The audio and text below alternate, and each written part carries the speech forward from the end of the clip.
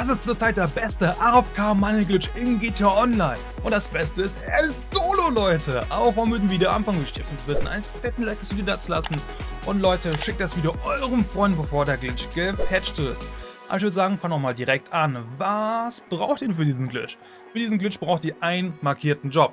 Und Leute, was soll ich sagen? Das war's schon. Ja, mehr braucht ihr für diesen Glitch nicht, Leute. Dieser Glitch ist perfekt für alle Anfänger, die gerade mit GTA Online angefangen haben. Aber wo findet ihr den markierten Job? Natürlich in den Kommentaren, also checkt's mal aus. Habt euch den Job markiert, können wir auch direkt mit dem Money Glitch starten. Denn als erstes seid ihr in irgendeiner GTA Online Sitzung und startet den markierten Job. Der markierte Job, by the way, ist ein Überlebenskampf. So, sind wir jetzt im markierten Job drin und ist gestartet, werdet ihr merken, dass die ganzen Wellen beim Überlebenskampf automatisch durchlaufen, da die Gegner hier automatisch getötet werden und ihr nichts machen müsst. Deswegen ist dieser Job AFK. Aber was müsst ihr tun, um aus diesem Job nicht mehr rauszufliegen? Naja, ihr müsst tatsächlich einfach den Controller einklemmen, aber auf einer ganz bestimmten Weise.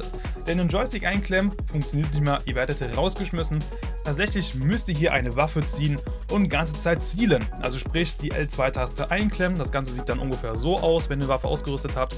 Und ja, dann werdet ihr nicht mehr rausgeschmissen und könnt den Job einfach durchlaufen lassen. Da ein Überlebenskampf 20 Wellen hat, dauert das circa eine halbe Stunde. Und nach diesen 30 Minuten werdet ihr 60.000 GTA-Dollars bekommen und natürlich auch RP. Und das Ganze komplett AFK und Solo, Leute! Und das Ganze könnt ihr natürlich einfach Wiederholen gehen und das Ganze von vorne machen, bis ihr genug Geld habt, um euch wirklich Sachen kaufen zu können für richtige Money Glitches. Ja, ich weiß Leute, 60.000 klingt jetzt nicht so viel für Money Glitch, aber wenn ihr überlegt, ihr braucht hier kein Gebäude, keine Fahrzeuge, nichts. Ihr könnt hier Level 1 sein und diesen Glitch machen und das ist wirklich krass.